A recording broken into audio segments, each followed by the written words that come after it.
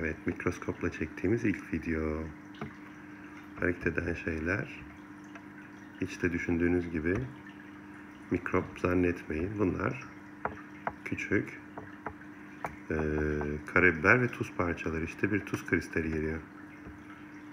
Peki neden hareket ediyor derseniz çünkü birazcık suyun içinde ve biraz eğimde duruyorlar. O yüzden hepsi her ne kadar burada yukarı doğru gidiyor gibi gözükse de aslında aşağıya doğru gidiyorlar.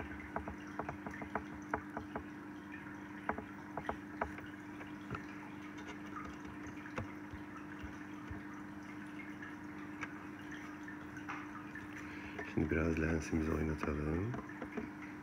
Oo, hareketli parçalar.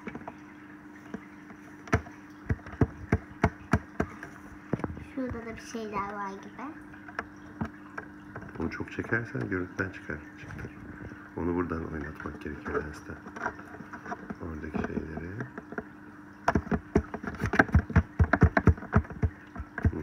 Bak. Çok büyük şeyler.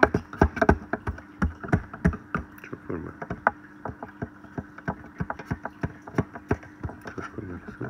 Tamam. Tamam durduralım videoyu. Hı?